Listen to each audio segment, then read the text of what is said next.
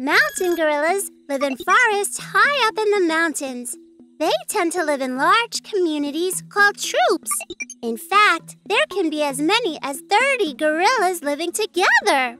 Mountain gorillas are led by the strongest silverback of the group. Silverbacks are male gorillas with a patch of silver hair on their backs.